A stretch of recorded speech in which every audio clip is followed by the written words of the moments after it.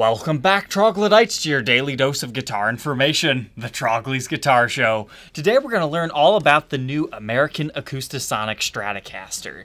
I've kind of been jealous that all the other YouTubers got sent these things, and I've always wanted to try one out, so I went ahead and I bought one with my own money. So these are my unadulterated opinions of this guitar. So just in case you missed it, last year in 2019, Fender announced the new Acoustasonic Telecaster. At Winter NAMM, they did the normal lineup and people lost their minds over these things. And then at Summer NAMM, they introduced an exotic wood version for twice the price. Personally, I think those exotic wood versions are really cool. I would love to do a demo of one of those in the future. But at 2020 Winter NAMM, they came out with this, the Stratocaster body shape within the Acoustasonic lineup. But don't make the same mistake that I was kind of thinking and a lot of people probably do think. They didn't just port over the same electronics that they did for the Telecaster version into the Stratocaster body. Every sound is, yeah, for the most part different. Here on the screen you can see what all the Acoustasonic Telecaster did on each of its various points. And here's the presets for the Stratocaster. As you can tell, when you compare the two, they have a lot of different tonalities. For example, you now have an electric dirty channel on the Strat, and the other ones just kind of have various small differences between the types of acoustic guitars that they're emulating. You can switch between position A and B using their mod knob. So in a weird way, it actually does make sense to own one of each of these if you like these guitars. But what, what exactly is this anyways? Because we're kind of diving in a bit too deep already. So this is an electric acoustic guitar that's based on the Stratocaster body shape, except for they've turned it into an acoustic, and they have three different pickup systems in here. You've got the Fender noiseless pickup for three different settings within this thing for electric guitar tones. Then you have an under saddle piezo bridge pickup. Then they have a body sensor pickup so you can still do like your tapping stuff. But at the same time, it also has an acoustic loudness to it all on its own. This is what you never see in other people's demos. Nobody ever plays it unplugged.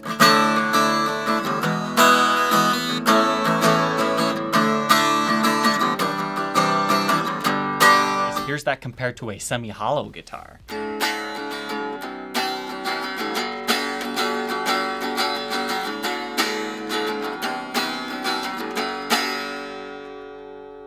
Now for the comparison that you actually care about, a true acoustic guitar.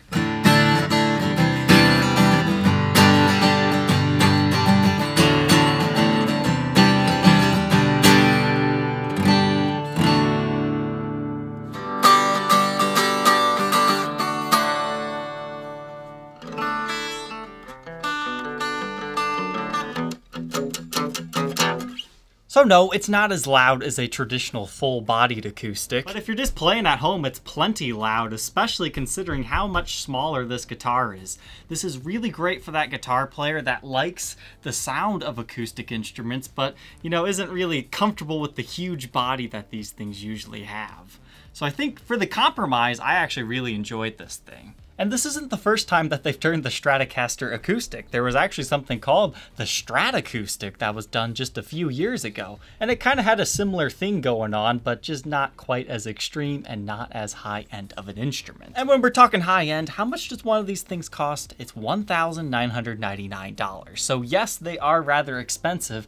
And a lot of people are asking the question online, why don't you just buy a good electric and a good acoustic? And that's something you can definitely keep in mind, and I'm going to think about that while I film the rest of this review. Whether you should do that, or if there truly is a place for this guitar in the market. But you can choose between five different colors on these guys. There's a three-tone sunburst, a natural, Dakota red, transonic blue, and then this one, black. So what were my first impressions of this thing? Picking it up right out of the case, I gotta say, I mean, if you watch the unboxing episode of this one, I was not in love with this guitar at first sight. It felt like a cheap toy. This is the first time I had ever touched or seen one in person, and if I'm being honest, none of the color options really worked for me on this guitar. It was kind of like, uh, which one is the less evil? So I went with this black one, and I was pleasantly surprised with what I was delivered. The whole reason why I went with the black one is because I felt, you know, it contrasted against this natural back the best. And something that makes this particular one extra fancy is the ebony fretboard.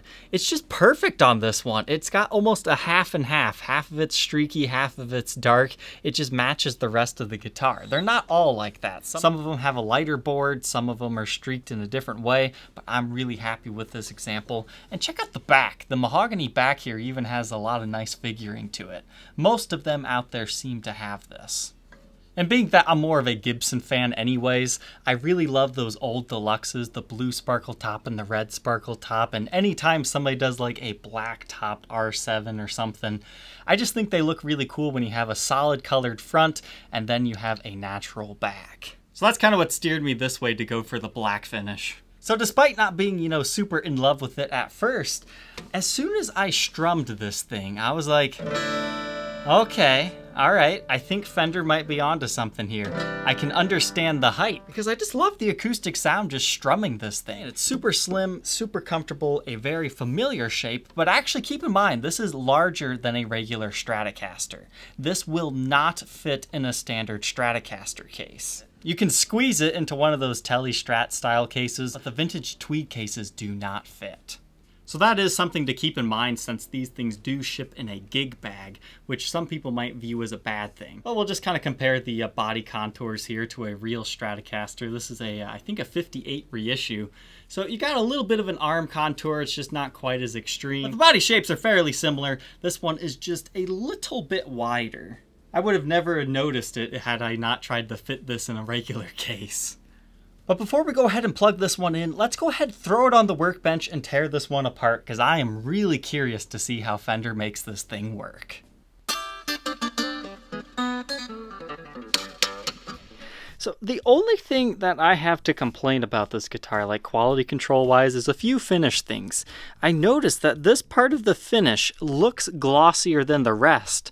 And I know satin finishes can be buffed into gloss finishes, but this is how it came from the factory. I tried cleaning it to see if that would come off, but the, it just seems like an uneven area in the finish. That one's just a residue from my cleaning, but there was another one, yeah, right here that also had that same thing. So I don't know what's up with that. It kind kind of bugs me a little bit. So that's one of the best things about this guitar. I mean, the whole satin finish and it being very lightweight makes it feel like a cheap Glarry guitar, but once you actually strum it and play it, it's like, okay, all right, it's not a cheap guitar by any means. Apparently this whole sound hole design is patented by Fender. They put a lot of time and effort into it, so it's not just a small little thing. You can see that's like the full size of the body. I can't quite get my calipers in there, but it's about an inch thick. It just appears to be like a hollowed out cavity in here where all the electronics sleep, so it's a rather thick portion. But maybe when we look in the backside we can see the front from there. But as far as the way this guitar is constructed, it is a mahogany body, and then you have a spruce top that they kind of just inlay right here, if I understand that correctly. You can see the spruce top right there around the rosette here. But here is our electric guitar pickup. They're calling this the Fender Acoustasonic Noiseless Pickup, and they tell you in the instructions, do not adjust the pickup height for this unless you're a Fender authorized tech because you could potentially crack the top. So we'll have to see what that's all about.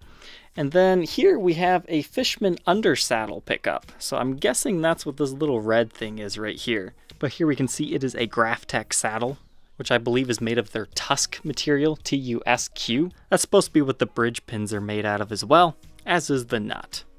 And then we have this whole system. This is just your master volume, so that's nothing too crazy, but this is your selector switch.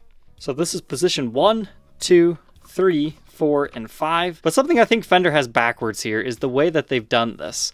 So normally, if you have this in the all the way on position, like a regular knob on 10, that is the B position. Whereas if you roll it off, it's technically the A position. I would prefer it to be the other way around. That was really only a problem for me because I'm trying to demo the guitar and figure out which one is what for you guys. But the bridge here is made of the same ebony, probably the same ebony that they're using here on the fretboard. But that is glued to the top just like a regular acoustic style instrument.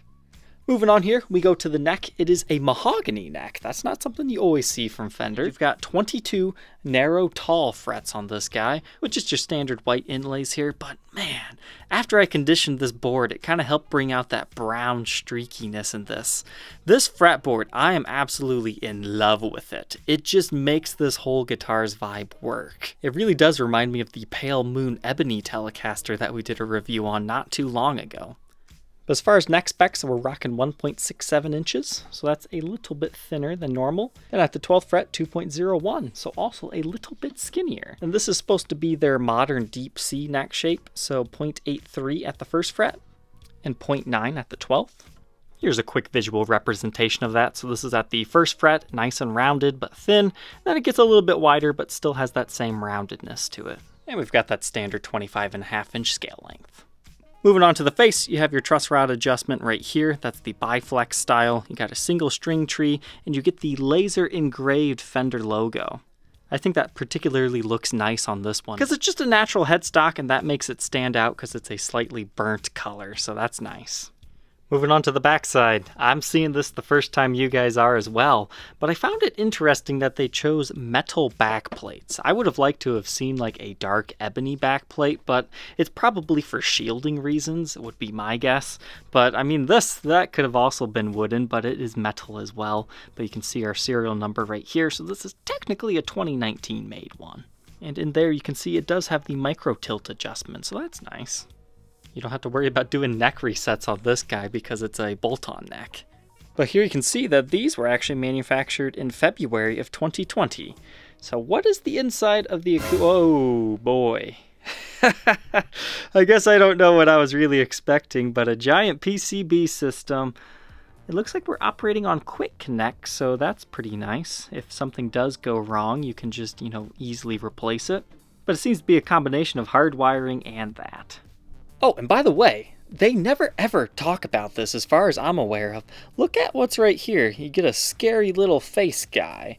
So you got the two screws here that mount it. You've got your output jack right here, and then you have a micro USB. Most acoustic electrics actually need a battery to operate. But what they've done is given you a rechargeable battery that you just plug it into either your computer or you can plug it into a power brick like that. But that is something that I learned. These things need a battery.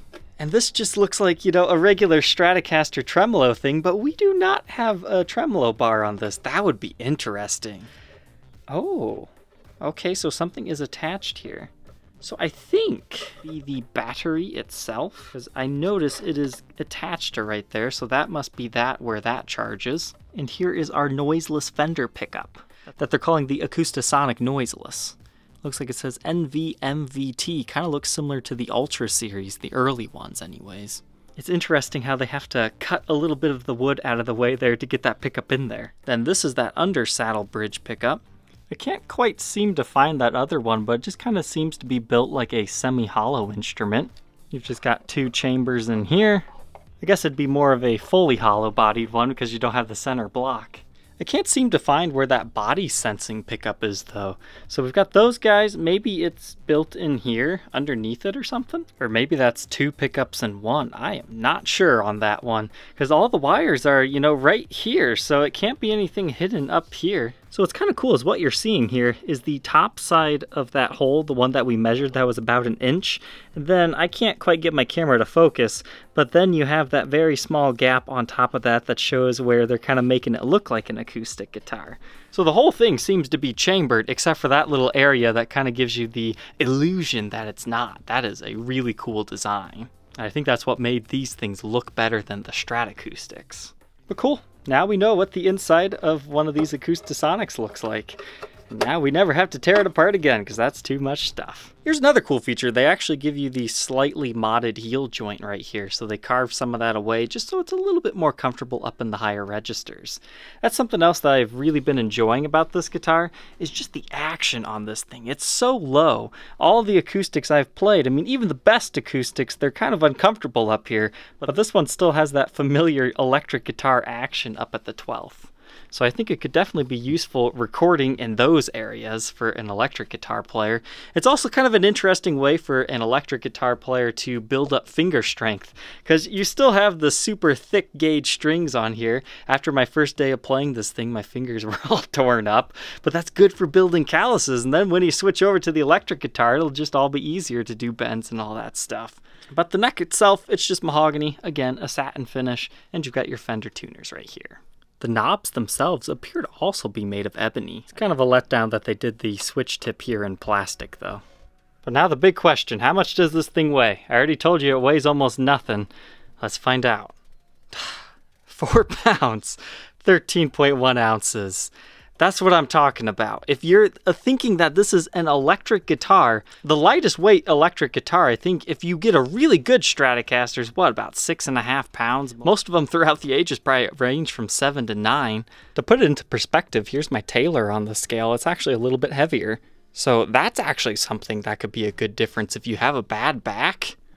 You can pick one of these guys up. So let's go ahead, plug it in, and hear what kind of tones I can get out of one of these and we will be running it through a Fender Deluxe Reverb amp today. I don't have a proper acoustic amp, that's what you should be running this through, but here's what it'll sound like if you don't have one of those.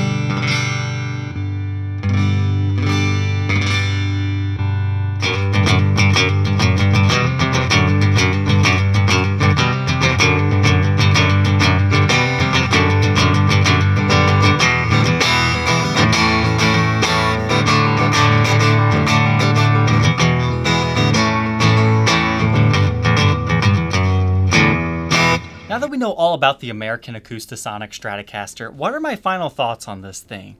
I think I'm officially converted and I understand why people like these things. I was not quite expecting to enjoy this guitar as much as I did, especially after my first impressions of just feeling it. But I could seriously see myself owning one of these because I'm mainly an electric guitar player, but I really love the sounds of acoustic guitars. So this, it can kind of get you there. I mean, you could probably put electric guitar strings on here if you wanted to, but then you'd be losing some of that acoustic sound if you did that. But it still feels like an electric guitar and you can get all that other stuff. It sounds a little bit more convincing than just putting a piezo system on a regular electric guitar. And at $2,000, I'll agree with you guys, they are expensive, but should you just buy an electric guitar and an acoustic guitar? I think it depends on what you're going for. If you're a gigging musician, I think this would be great for that coffee house vibe because you're well prepared for everything and you don't have to take multiple instruments. But if you just stay at home and you have a nice acoustic that you think is comfortable and you have a nice electric guitar that you find comfortable, then yeah, you probably don't need one of these unless you like that the body's thinner. As far as the tones go, I was very happy with the acoustic sounds out of this thing. Now, when you get to the electric, I think it's just mainly a novelty feature at this point. I don't think they quite have that dialed in. Something else to keep in mind, you cannot do distorted licks with this thing. There's a reason why they give you a clean, a semi-clean, and a dirty channel within this. As soon as you step on a distortion pedal, it's feedback city. So that's something else to keep in mind. A regular electric guitar will take that super distortion a lot better. But all in all, I would definitely suggest at least checking one of these things out, either the Stratocaster or the Telecaster version. Fender just might be onto something here. Besides just buying an electric and an acoustic, the other thing people talk about is a Taylor T5. Honestly, comparing them side by side, I think I prefer the look of this one better as more of an electric guitar guy, but I've never tried the T5, so I can't really say one way or the other if one is better. But anyways, I hope you guys enjoyed taking an in-depth look at this new Fender Acoustasonic Stratocaster. I like it. Maybe you should try one too, maybe not. But before we say goodbye, let's go ahead and check it out under blacklight. As far as the blacklight test goes on this one, eh, we don't have anything too crazy to look at here, but we get a little bit of glowing, mainly on the face of the headstock, but again, it's a complete satin finish on this thing. So it's definitely super comfortable to play, but you can also wear through that finish pretty easily. This is just something that confuses me about the Acoustasonic lineup. Why do they not get hard shell cases? I get it that the main demographic for these are gigging musicians, so they think that they might want a gig bag because it's easier to lug around. I mean, they do have good shock absorbers right here. I mean, that's literally like a tire. You've got two of those. You even have a little bumper pad right here that kind of secures to the other side of the strap button. That way it doesn't like crack your guitar if you drop it. So it's a good quality gig bag. I mean, tons of padding. I really, really like the handle on this. It's like a gel. And inside here they have two neck blocks, but you can actually move them. They're on a Velcro strip right there. So they just lift off and you can move them however you want them to be. And you've got a zippered pouch right here, and then another one out here so you've got room to put stuff in. You can put your name tag in there. They also got a little tag right there. And here's all the case candy you get. A nice little baggie for all this stuff. Your typical Fender manual, a quick start guide that kind of tells you all about the tones for these, and your Fender tag, your charging cable, and your certificate of authenticity. Thank you, Troglodytes, for tuning into this episode of the Trogly's Guitar Show. If you think you might be interested in being the next owner of this particular Acoustasonic Stratocaster, you can check out that link in the description, which will take you to the Reverb for Sale page. Don't forget to like, comment, and subscribe, and we will see you tomorrow on the next episode. Take care.